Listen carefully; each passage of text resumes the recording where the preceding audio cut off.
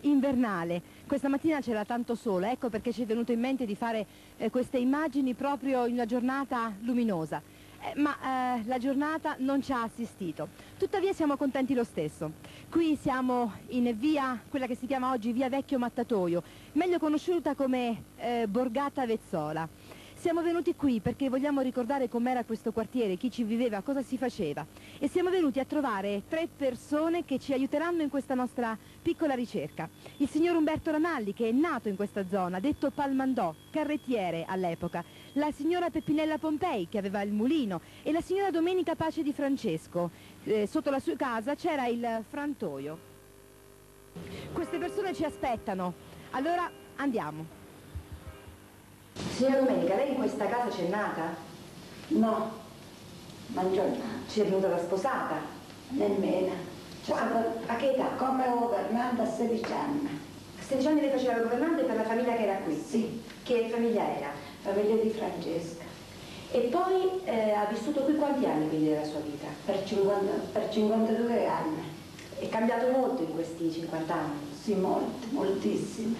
Che ricordi ha lei eh, dei primi tempi che è venuta qua? Era molto diversa la zona, le case che c'erano? Sì, c'erano tutte case vecchie, c'era il mulino, l'acqua, c'era tutto. Qui c'era il frantoio, vero? Sì, un frantoio di sotto. Lei lavorava ci andava a vedere? No, no, operare il no, frantoio? lavorava come capo operaio. Mm, e quindi lo vedeva il frantoio, lo conosceva sì, sì, bene? Sì, sì, sì, sì.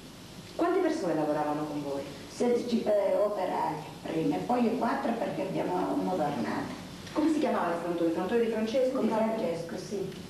E abitavano, venivano a mangiare qui gli operai, stavano a pranzo qui? Sotto. Si ricorda qualche nome di persone che lavoravano con voi al frantoio? Come no? De mio zio Pasquale, de mio zio Fra- Franco, de mio zio Domenica, Teodoro la, Lamberto, eh, Farinelli Giuseppe, eh, aspetta, ma questo Castellano non me la ricordo. come. Giuseppina, o meglio, Peppinella Pompei. Lei era il mulino qui. Sì, Un mulino che funzionava come? acqua, acqua elettrica. All'acqua e qui tardi elettrico, sì. Lei ci lavorava proprio? Sì, lavorava da bambina. Che faceva? Eh, si immaginava.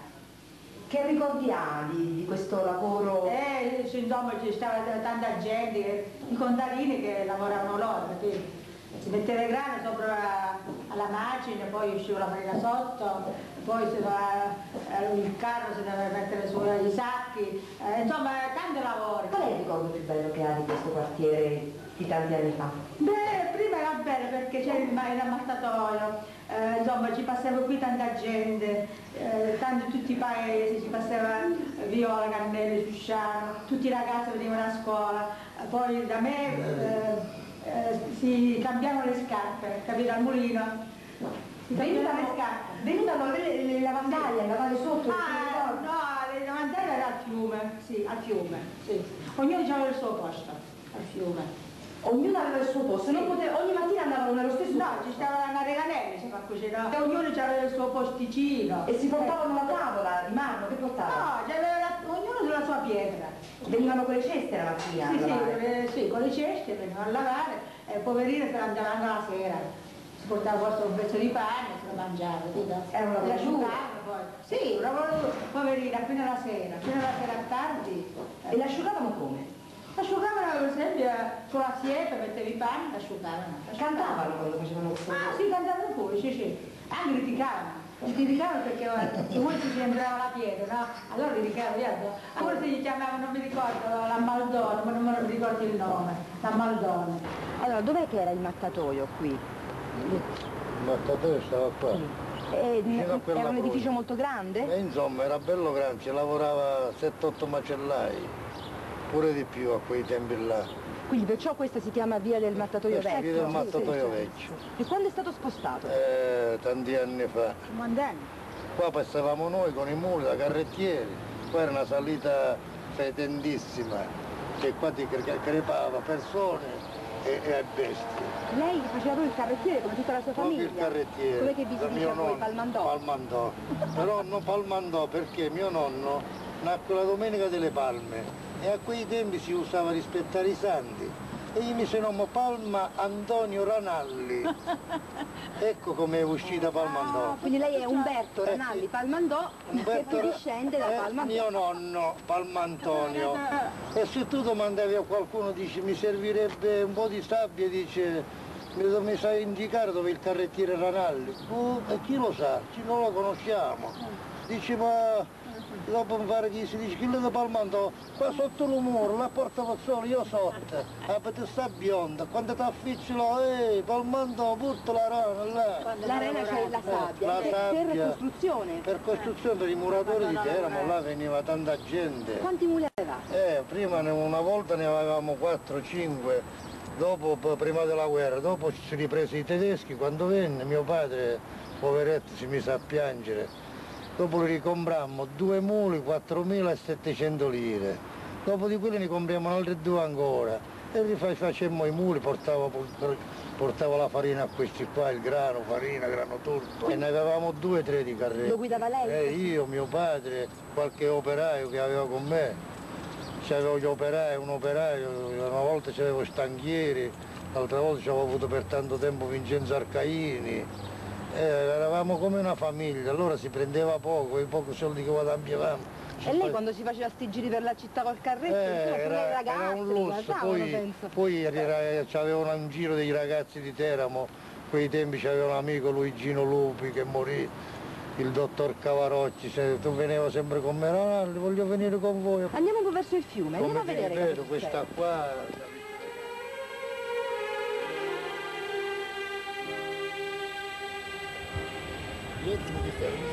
Terra di riporto l'ha quasi coperto completamente. Questa è la parte superiore dell'archivolto del Ponte degli Impiccati, un ponte che risale all'epoca romana ma che nel Medioevo veniva usato per l'esecuzione di condannati a morte tramite impiccagione. Ecco perché è rimasto questo nome. Eh, chi ha qualche anno in più ricorderà che qui sopra c'era anche una piccola edicola con un'effigie, un'immagine della eh, Madonnina. Del ponte degli impiccati oggi appunto rimane questa la parte eh, così superiore perché sia le erbacce sia la terra di riporto sono eh, scese molto in basso e non è rimasto quasi niente. Eh, l'anno scorso un'iniziativa degli ambientalisti ha tentato di riportarlo eh, alla luce ma come vedete ehm, sarebbe molto difficile passando di qui rendersi conto di che cosa c'è sotto.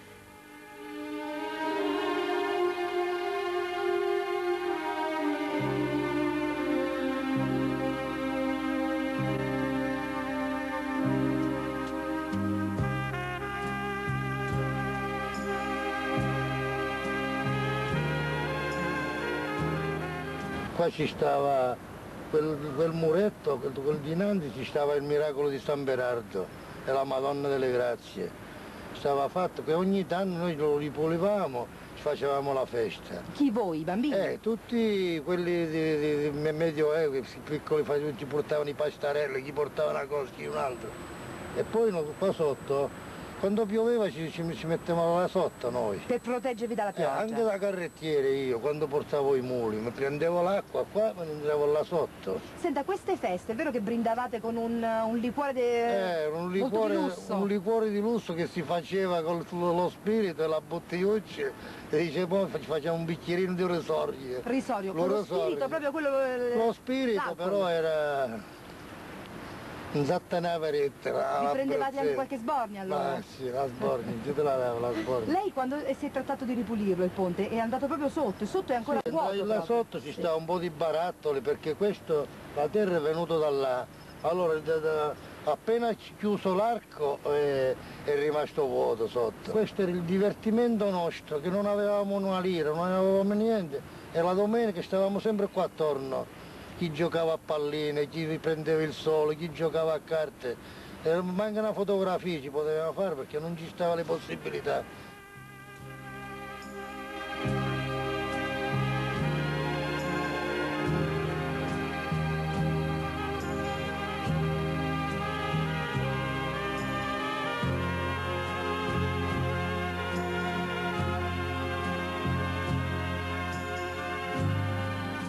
Devo dirvi che eh, questi territori, questi terreni erano lavorati ad orto proprio dai pazienti dell'ospedale psichiatrico.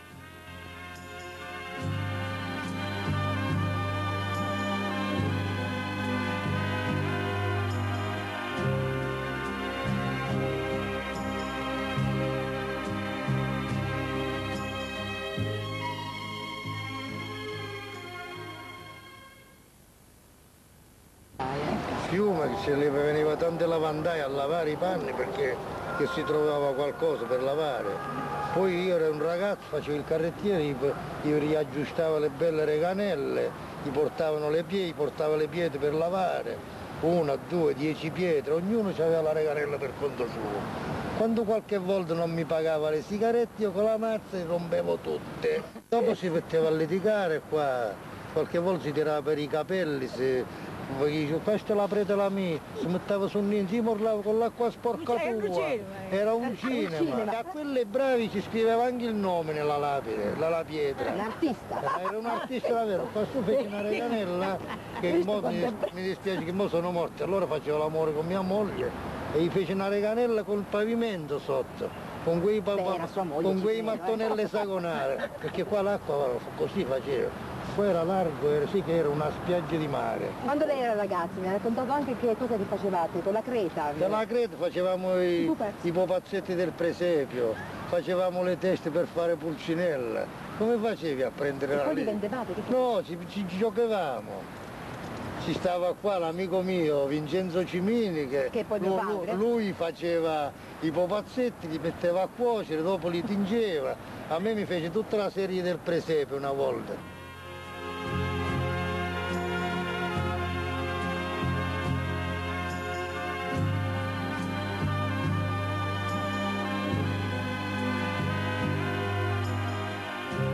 Si accedeva a passare con una scala, che là quella fogattonella che vi ho dato, la scala sta vicino al ponte degli imbiccati appoggiato.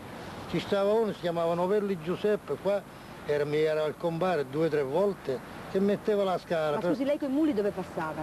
Con i muli io attraversavo l'acqua, Ah, però la gente che veniva da Viola, da Cannelli, da, da qua su in campagna, per non fare tutto il giro del ponte, Allora passava qua. allora passava qua e si chiamava lo scalare. No, lo puntarola, dice, quando andavamo in campagna con questo compare a ritirare qualche soldo, Gli dava l'uovo, gli dava chiama- chiamava lo guaiolo, ma mo passo lo puntarola, chi ti dava l'uovo, chi ti dava 100 lire, chi 50, chi non ti dava niente, qualche volta quello che non gli dava niente lo riconosceva. Il mio compare toglieva la scala, dice. Paccala da est, dice no, io passo qua. Allora se tu passassi, io tiro la scala e pissi dove stava la scala. Oggi è diventato come fosse un piccolo ruscello, perché una volta era largo, dalla sponda alla sponda ci voleva, era una camminata lunga, poi era bello, bianco, pulito, l'acqua l'ho bevuta da ragazzo fino a vent'anni, ho sempre bevuto l'acqua qua al fiume, dove facevo le reganelle alle, levandaie. Dopo è venuto certe piene che diventava bianco, pulito, ci scavevamo la sabbia lavata per portare ai muratori, la sabbia fina per fare lo stucco, tutto. Lei se la ricorda qualche piena Mi importante? ricordo la piena del 54 che si portò via anche due case qua giù sotto al ponte San Francesco, portata via la casa del vivaio, la casa della, come si chiamava, quello che faceva il fioraio, la casa di Borelli, mezza casa si portò via.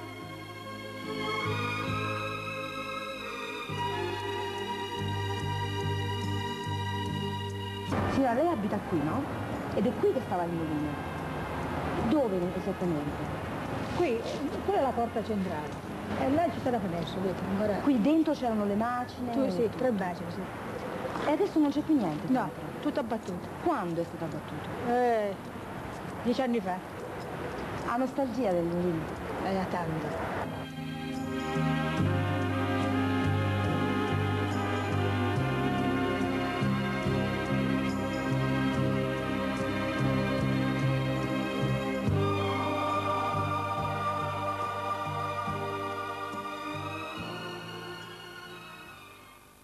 Frantoio dov'era? Lei abita qui sopra. Sì, E dov'era il frantoio? qui.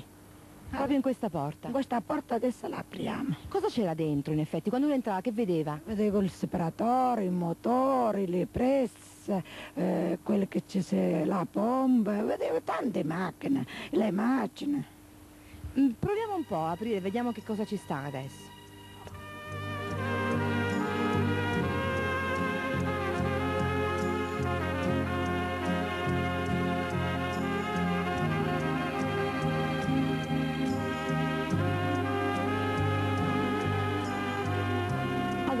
All'interno del frantoio troviamo ancora la bilancia, come si chiama? Questa è la basco. E che ci si pesava qua sopra? L'olive, l'olio, tutta la sanza, tutto. Questa è rimasta qui da allora. Da allora. E ci ho avuto molte richieste per vendere, però eh, mi è rimasto... non l'ho, non l'ho venduto.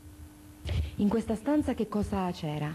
C'era una pressa di qua e poi due soprapresse di qua e una pompa di là, a tre colpi.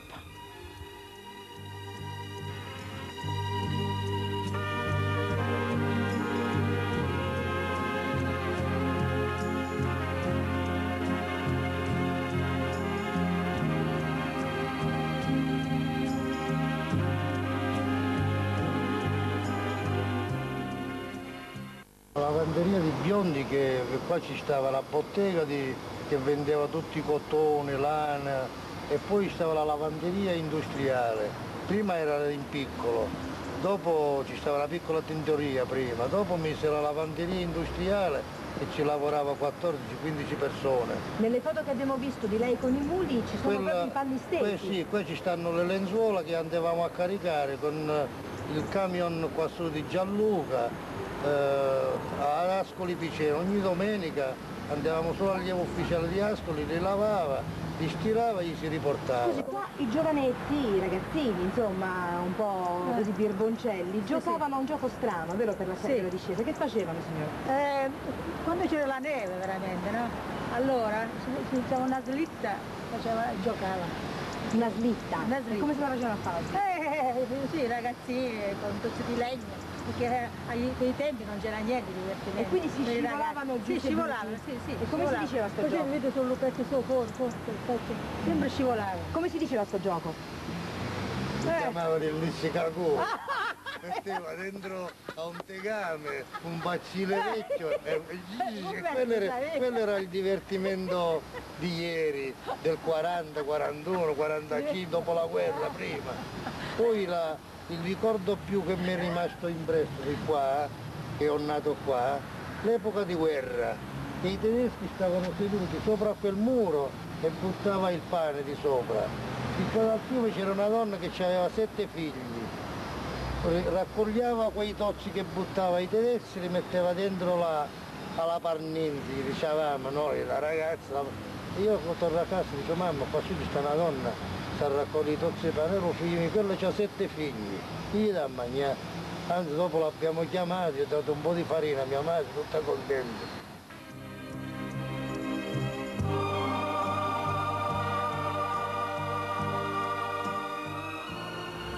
La cabina dell'Enel. Voi direte che cosa avrà adesso da dire anche sulla cabinetta dell'Enel. Eppure mi hanno fatto notare che questa piccola costruzione è a suo modo un bel esempio di una costruzione ad uso industriale degli anni 20 che riprende felicemente qualche accenno Liberty. Ora ci siamo portati proprio sopra eh, la borgata Vezzola, sopra la via del Mattatoio Vecchio, perché qui c'è una cosa che apparteneva, eh, che nessuno vede più perché è inondata dalle macchine, comunque è un po' difficile vedere. Cosa c'era qui signora Domenica? Qui ci stava la basco.